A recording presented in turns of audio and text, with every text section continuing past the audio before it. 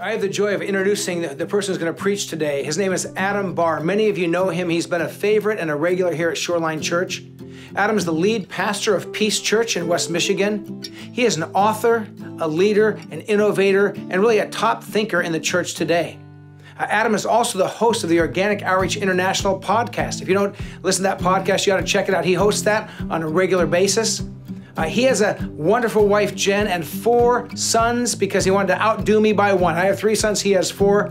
Adam's been a friend for many, many years. We've asked him to preach today on the commandment don't lie or speak the truth. And Adam's a great person to talk about this topic. I want to invite you to give Adam Barr a warm shoreline welcome. yeah. I love Shoreline, man. It's so good to be here. It's good to see you guys. Every time I come here, it's, my, it's like coming back to my West Coast family. Uh, I love the chance to be with you. And, and one of the, the joys for me personally uh, of c- coming back uh, year after year and being here a number of different times is that I, there's honestly, there's big things that have happened in my life that I sometimes I, I mark around the rhythm of having been here at Shoreline Church. Um, I, I, as I was getting ready for this sermon, I was remembering a trip I took here uh, to speak uh, for one of the organic outreach conferences. I took a trip here with my, my oldest boy, who at the time was 12 years old. Uh, and Ben and I came out here and we hung out with the Organic Outreach Conference, and he got to worship here. And it was one of the most awesome trips that we got to have together as a, as a father and son. Well, guess what? That 12 year old boy is now 16, which means what? Right?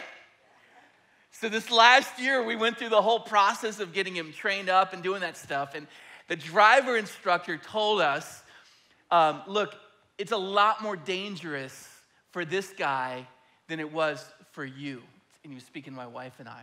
And at first, I looked at him like, you know, what are you talking? He said, look, they drive in the age of the smartphone. How many of you know he's exactly right? I mean, he said, he said, your son could do everything right but the truth is, is he could, he could be going through an intersection with a green light and someone could come plowing through, doing one of these numbers, and plow right into your kid.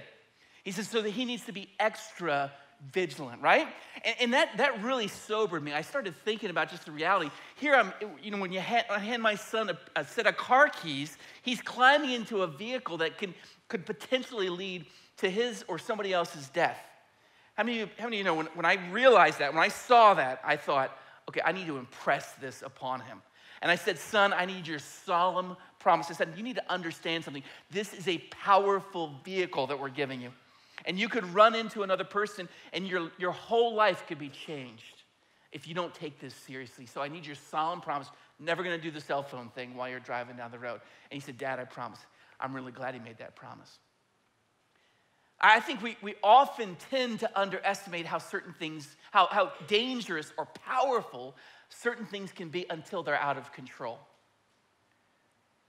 Like fire, for instance. Uh, anybody ever, you know, burn a pile of leaves? Are you allowed to do that in California?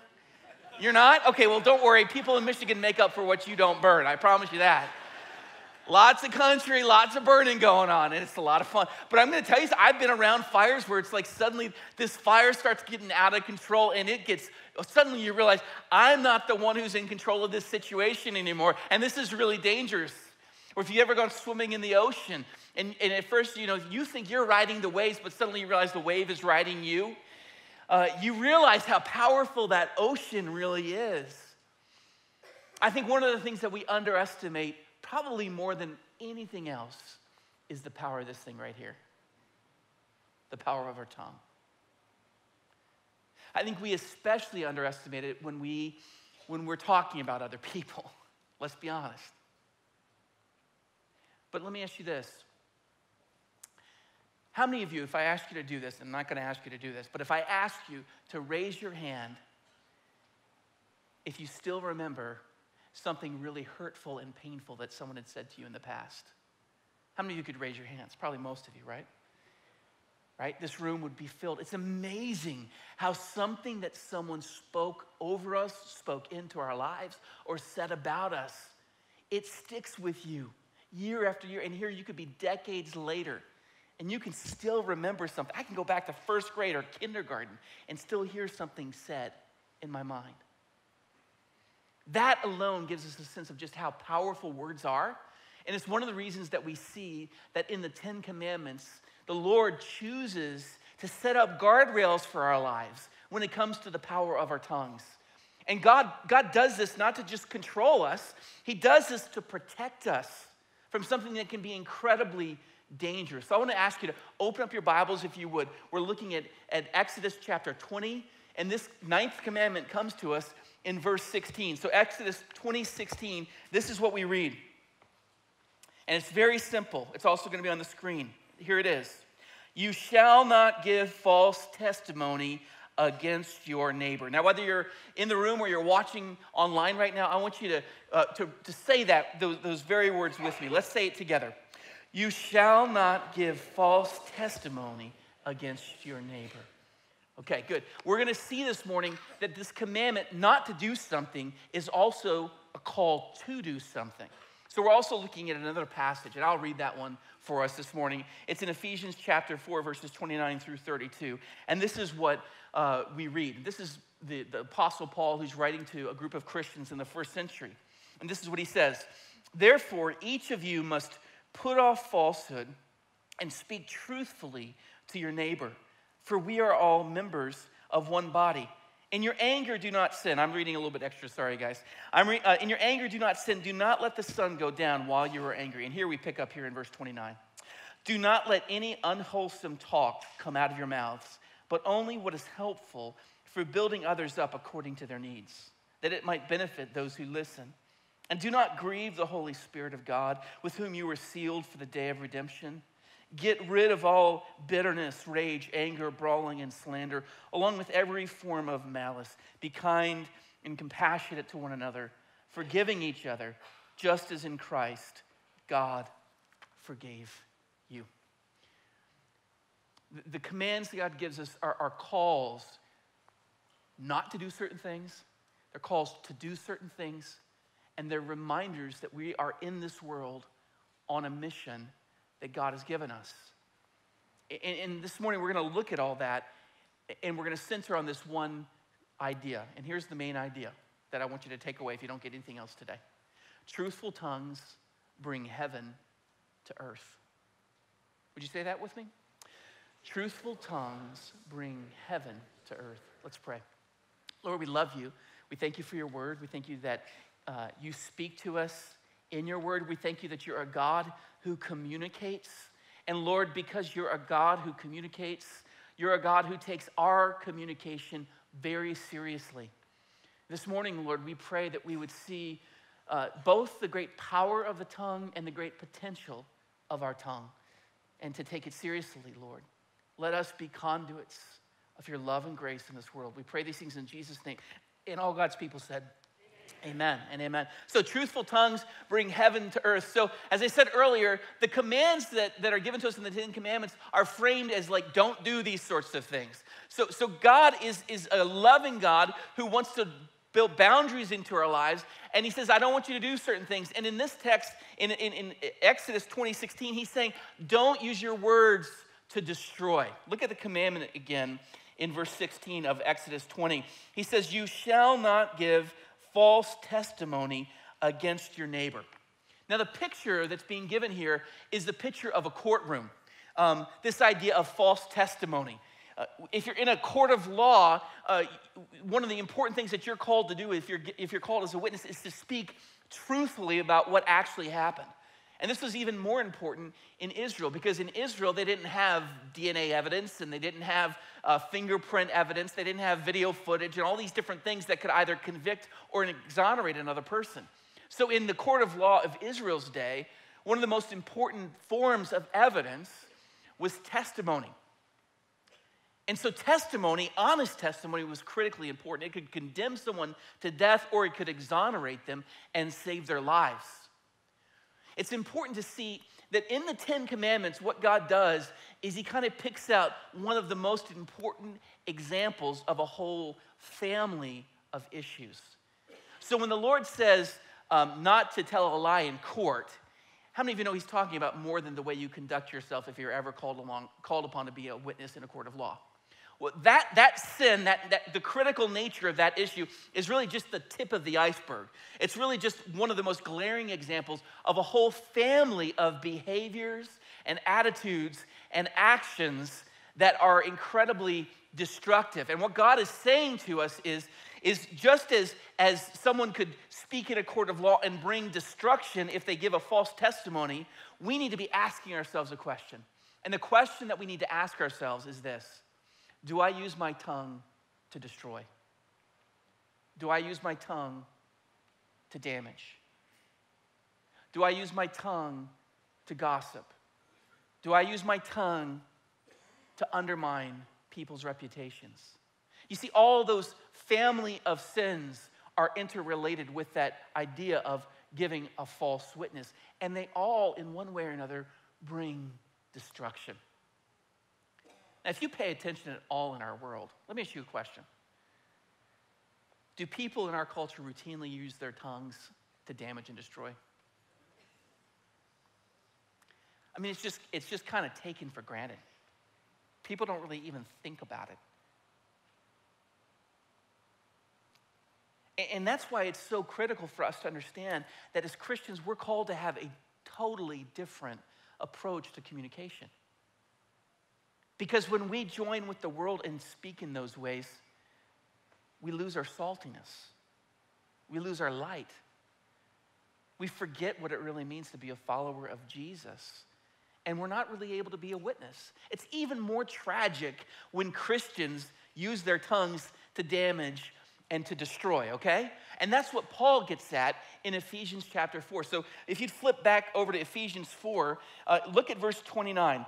Uh, Paul says this He says, Do not let any unwholesome talk come out of your mouth. And then look at verse 30.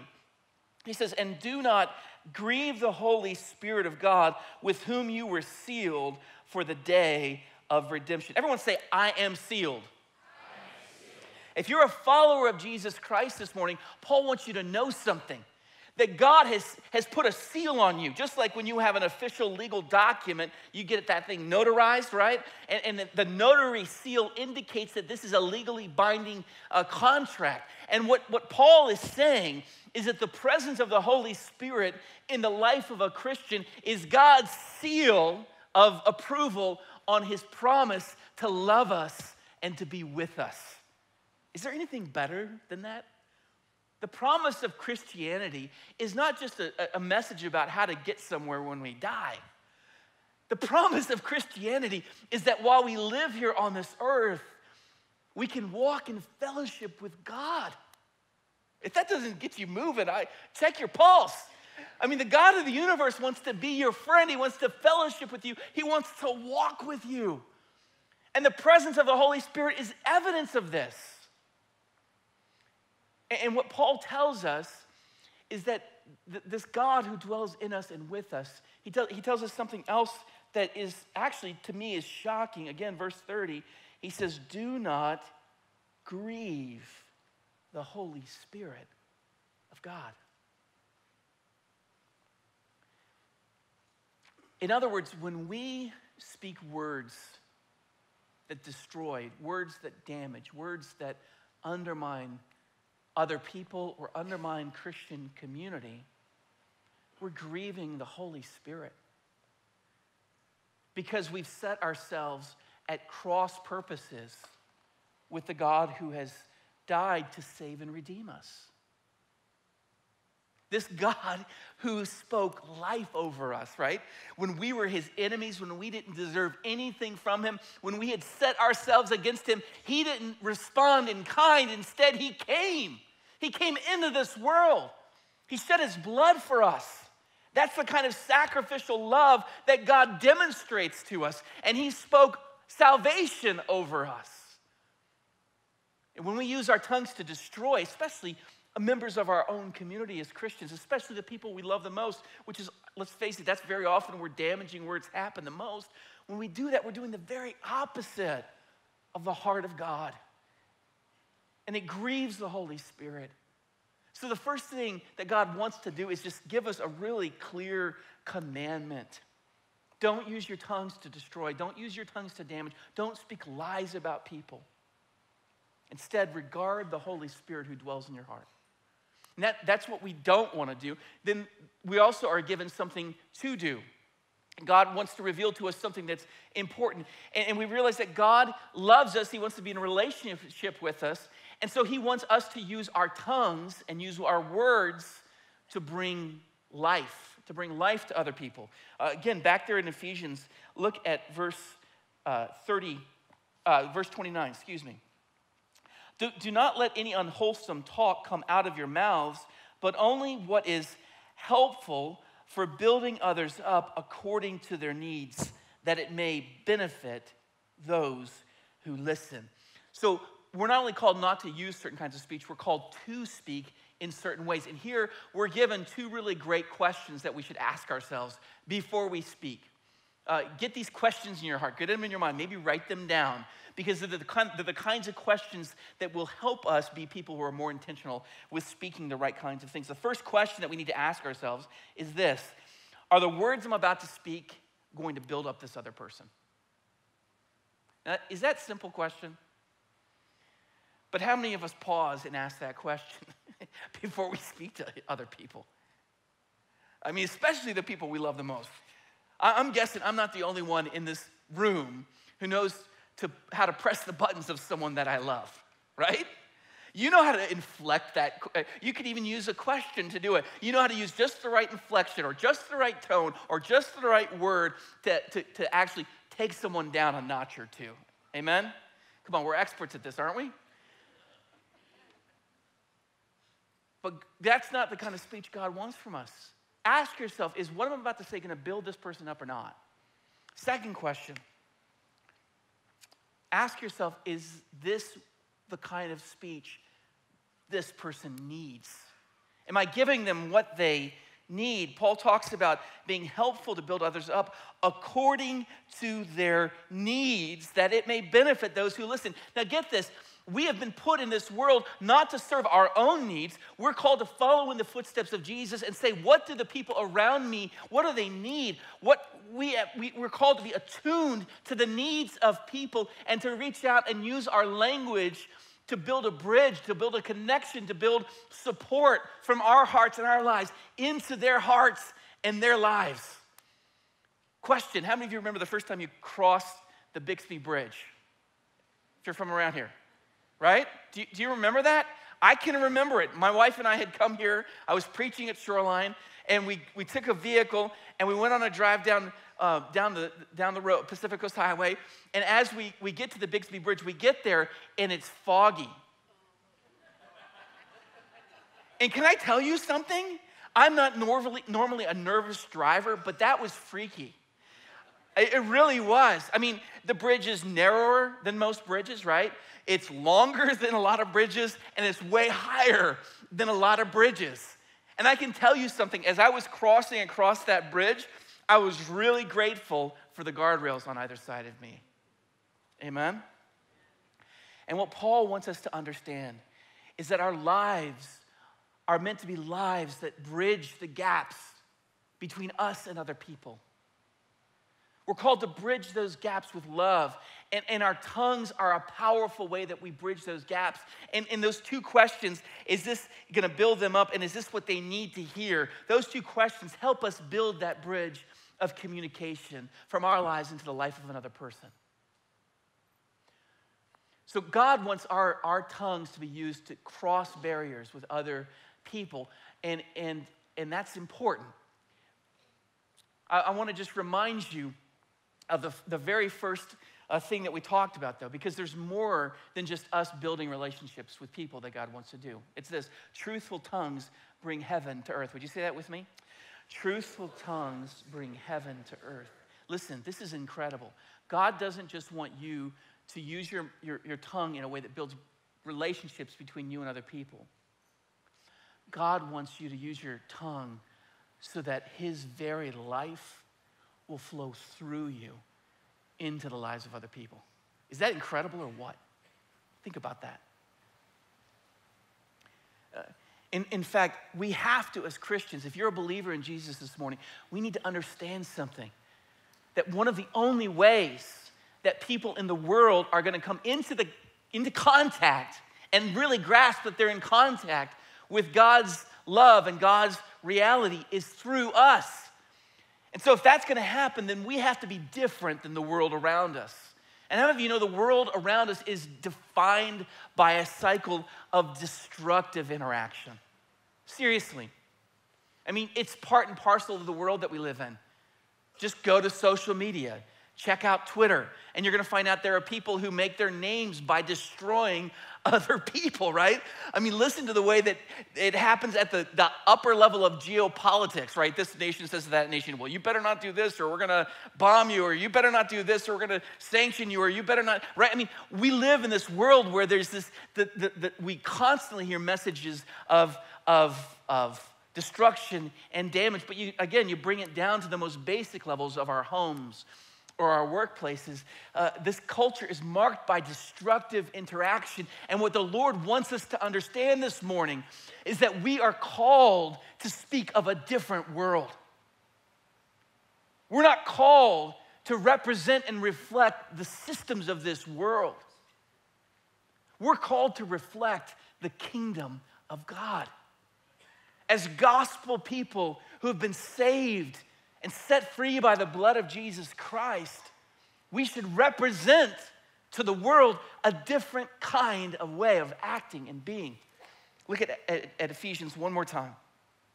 There in verse 32. Paul says, Be kind and compassionate to one another, forgiving each other, just as Christ in God forgave you. Everyone say, Christ forgave me. That has to be the starting point for us. That has to be the starting point of our communication. Our knowledge, our awareness of what God has done. That while we were still sinners, Jesus came into this world and he died for us. That Jesus is working in us. That Jesus is transforming us.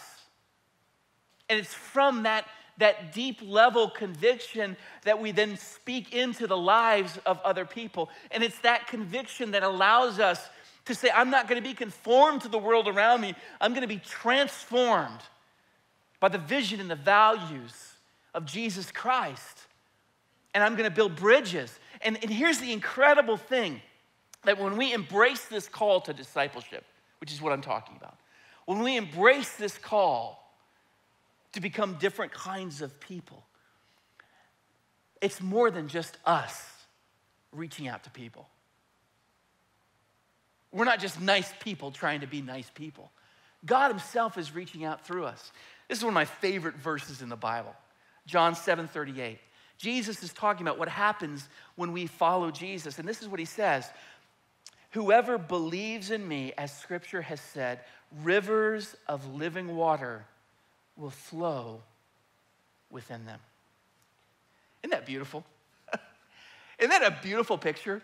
If you believe in Jesus, something is going to rise up within you. Life, living water is going to flow out of you.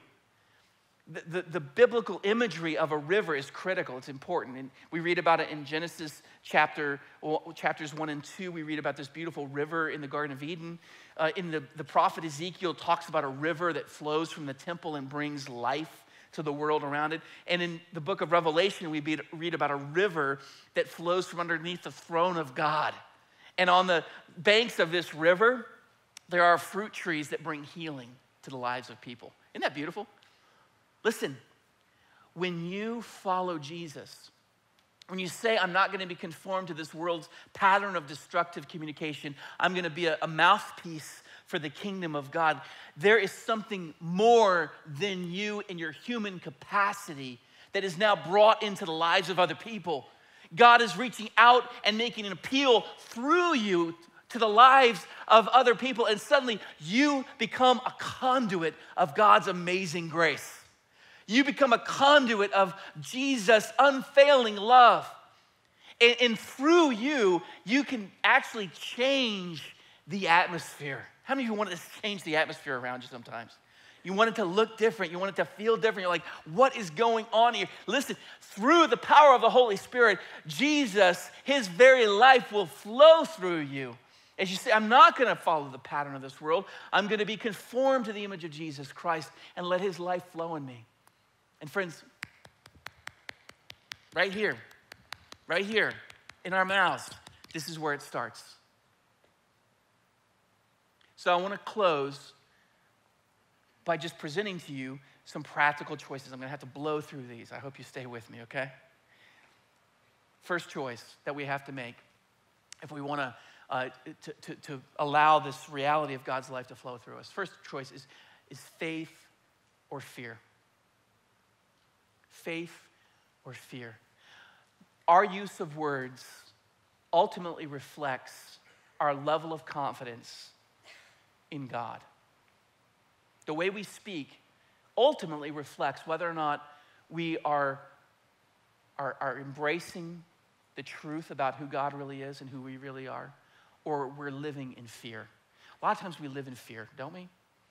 We're afraid that maybe God's taken his hand off the steering wheel right? Do you ever feel that way? Like, oh no. And, and when we do that, when we forget that God is in charge, that God, we, we can trust God's going is he, he's got a plan. That's good news. Uh, it, when we forget that, we suddenly, we want to control. And, and very often, negative speech and negative patterns of behavior and interaction with other people, it's, the, it's a reflection of someone who's seeking, who's afraid and is seeking control. But when we have faith in God, suddenly we have a different perspective on life. Let me ask you a question. Do you, when you encounter people, do you really believe that every person you you encounter is someone that Jesus willingly went to the cross to redeem? Do you believe that?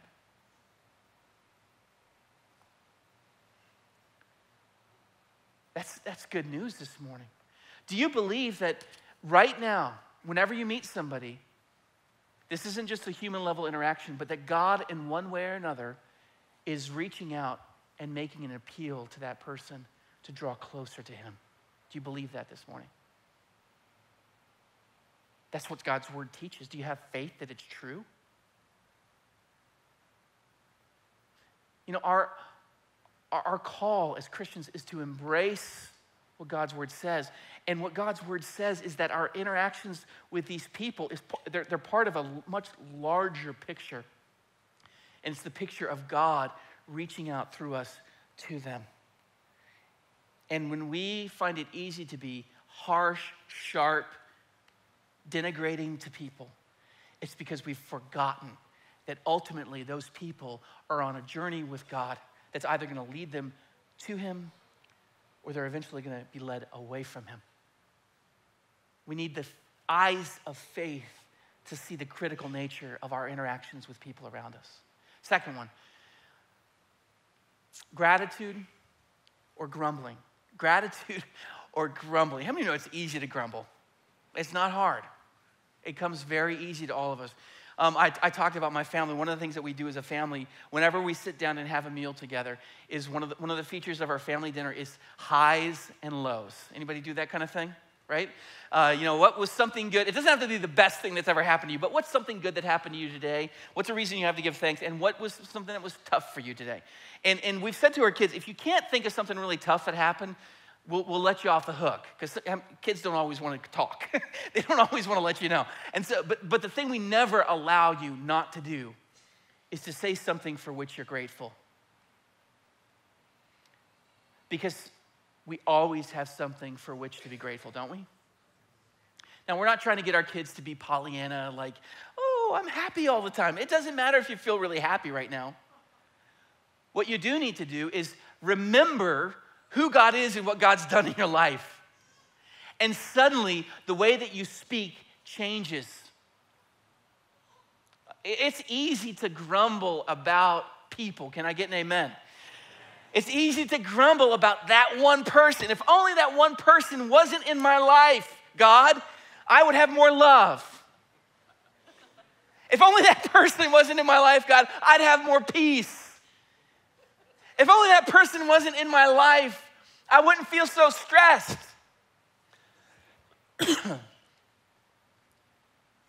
what if we flip that just a little bit?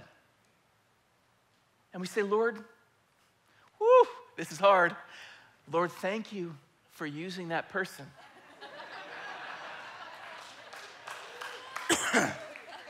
thank you for using that person to reveal how I look for peace in things besides you.